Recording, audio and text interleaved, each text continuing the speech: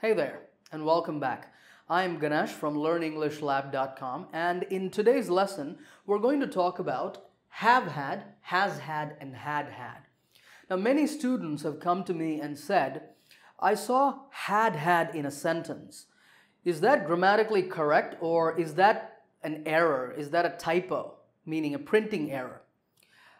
And let me tell you, all three of these forms are grammatically correct and you should learn how to use them correctly. Right, over here I have three sentences that are going to help us understand these forms. Take a look at the first sentence, I have had lunch.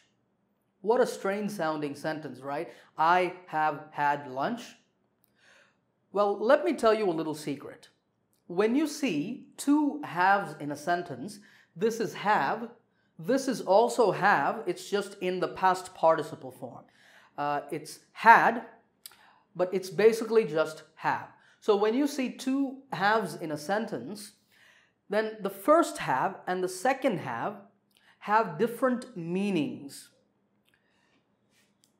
This first have is called a helping verb.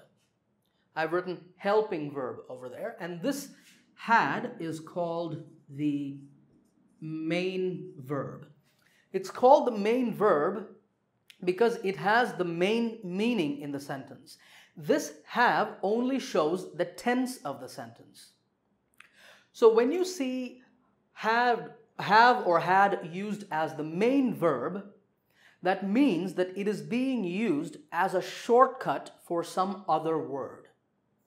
But in this case, what could that other word be? What could be the meaning of had? Well, take a look at this list over on this side. When we use have as the main verb in a sentence, it could mean a number of different things. It could mean to eat, like when we talk about having breakfast or having dinner. Or it could mean to have a drink, which means just to drink something. Or we could be talking about owning something. Like when I say, uh, I have a car, I mean that I own a car. Or it could show some relationship between people. I have a sister. That means, um, or that shows a brother sister relationship. Or it could uh, talk about some kind of experience. Like if I said, I had difficulty or I had trouble finding the place, that means it was difficult for me to find the place. Now, these are just some example meanings of have. The word have has many meanings in English, so if you want to see all of those meanings, uh, go and look at your dictionary and find the word have, and you'll see a lot of meanings. But these are some of the more common meanings. Okay, let's now look at our sentence. I have had lunch.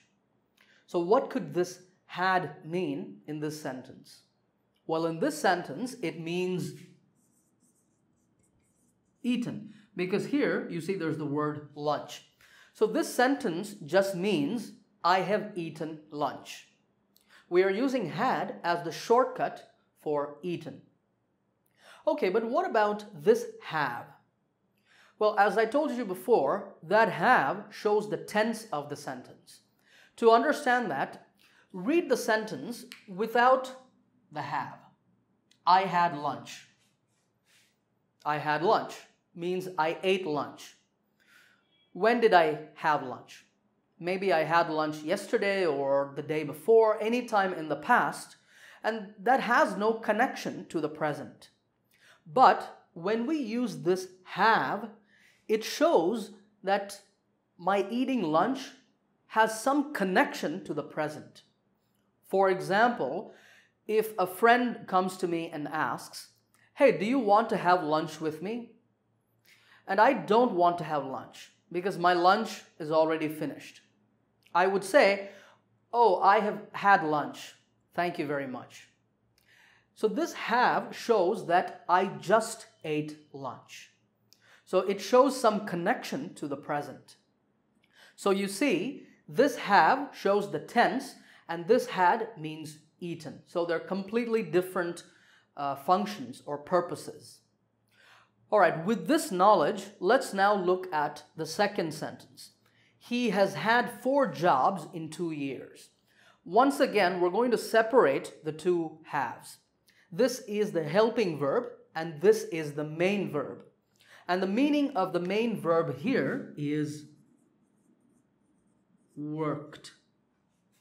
So he has worked four jobs in two years is what it means. So once again, had is being used as a shortcut for worked. What about this has? Well, this is just the same as this have over here, but we are saying has because the subject is he. If the subject is he, she, or it, we say has. If the subject is I, uh, you, we, or they, we use have. So if the subject here were I, this would be have. I have had four jobs in two years. But since it's he, it's has. And once again, the tense here is the present perfect tense, and this has shows some connection to the present. So he has had four jobs in two years, and maybe he still works in one of those jobs. So it's connected to the present in some way. Okay, let's now move on and talk about the more challenging part, which is had had. When Sandra arrived, everyone had had dinner. When you look at this sentence first, it might seem a little scary with two hads in it, but we have this tool of separating the two halves. So let's do that.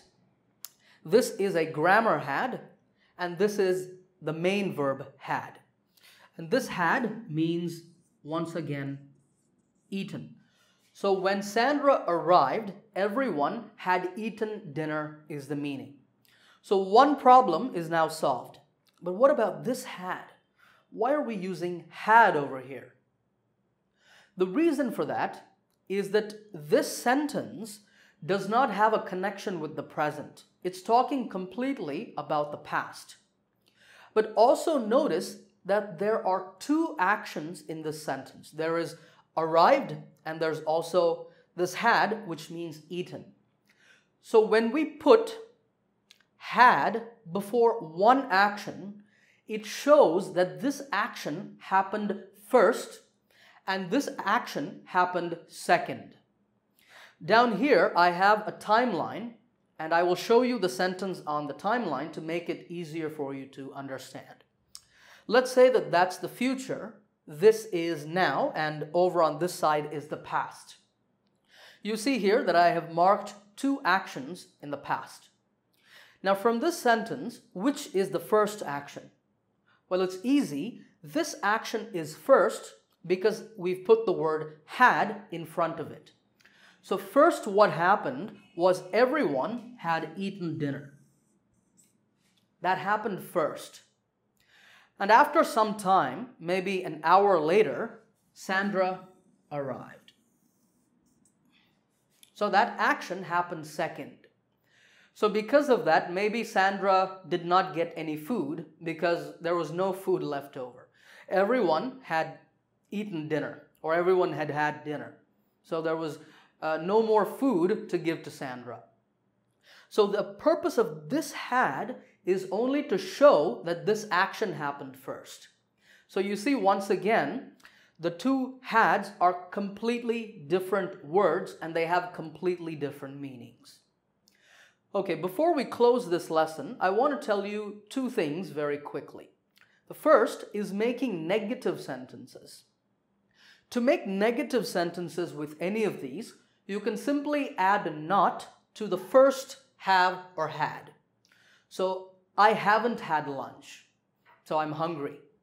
Or, he hasn't had four jobs in two years, he's had only three jobs. Or, when Sandra arrived, everyone hadn't had dinner, so there was still some food left over, or there was still some dinner to give to Sandra. Now, the second thing is pronouncing these sentences. When we say any of these sentences, we do not stress the first have, but we stress the second. So this sentence, we would shorten this have to I've. So I've had lunch. We do that because this first have is not important. So I've had lunch. In the second example, he's had four jobs in two years. He's. He's had four jobs in two years. It sounds like he is, but it's actually he has. And in this last example, when Sandra arrived, everyone had had dinner. Listen to that very carefully. Everyone had had dinner. Had, had. The first one is weak, had, and the second is strong, had. So everyone had had dinner. I encourage you to practice these types of sentences. Uh, you can write your own practice sentences and put them in the comments section for me to see. Don't forget to subscribe to this channel. Uh, I have lots of new lessons coming for you. I hope you enjoyed this lesson and I'll see you in another lesson soon.